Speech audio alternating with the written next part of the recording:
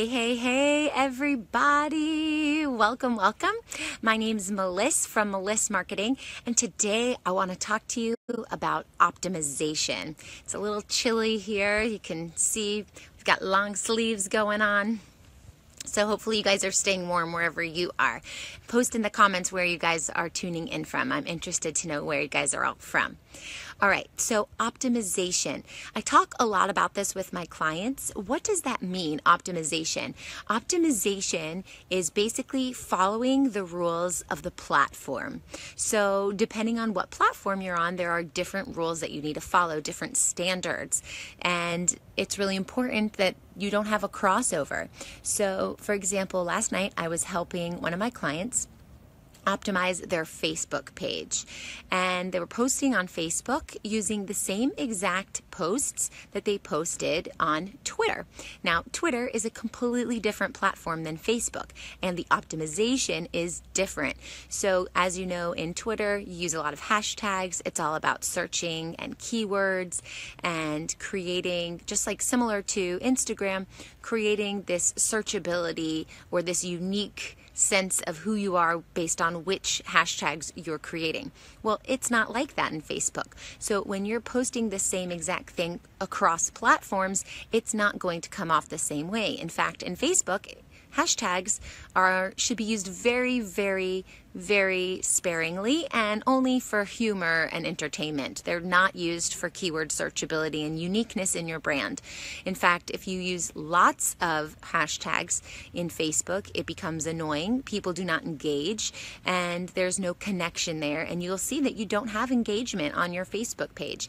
So it's really important to play the rules of the platform. When in Rome, do like the Romans. So when on Facebook, do like Facebook wants you to do. When on Instagram, do like Instagram wants you to do. And that goes the same across all platforms. LinkedIn has its own way, Twitter has its own way, YouTube has its own way. So you really need to be familiar with the platform that you're on and the way that it wants to use the user ability, the way that goes, the best way that that goes. So the most important thing to do is stick to one platform. I talk about this a lot too.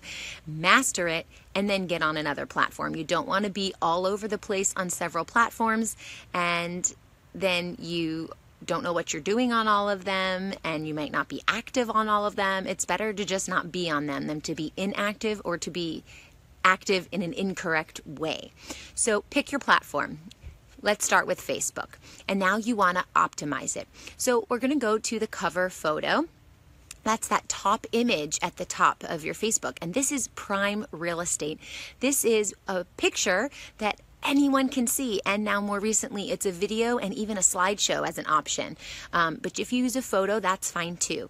Now, everyone can see it, it's open to everyone. So, you really want to use this sparing, you want to use this in a smart and strategic way, okay? So you have a picture there that tells people either what it is that you do or some offer that you have going on right now, some special or promotion that's going on right now, and use that cover photo to your advantage. You don't want to have a lot of words, a lot of text, you want more image. And then when you click on that image, it's going to pop up and there's a description. And there's a link there that says add a description.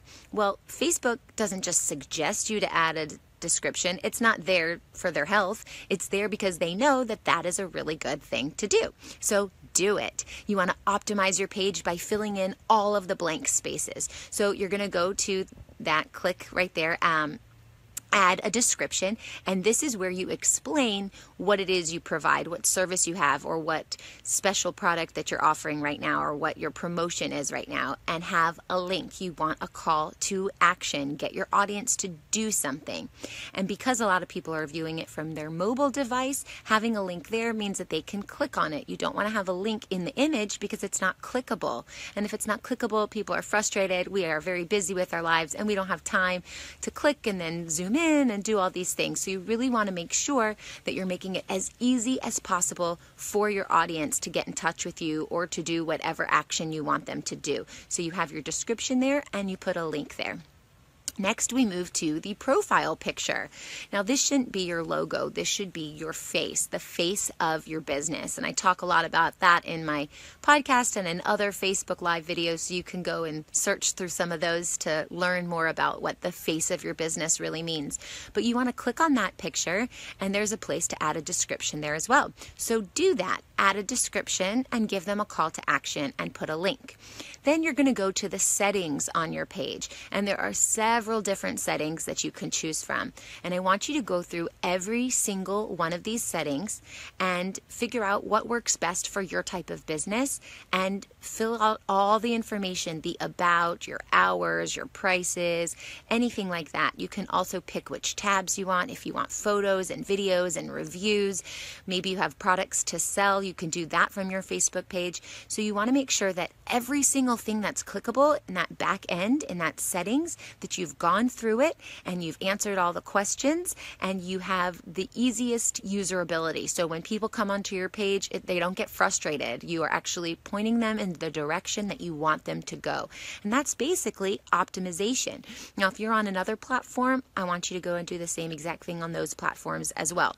So every platform has their own rules, their own places to fill things out. Look at other profiles profiles of people either in your industry or people who that you really look up to and check out what they're doing. You can look at my pages as well and follow what they do and take it to your own business. Turn it into something that fits your industry and make sure that you have everything filled out. And that is optimization in a nutshell. Now, if you have any questions, please post them in the comments below. I always come back and answer them. And I hope to see you guys soon. Bye.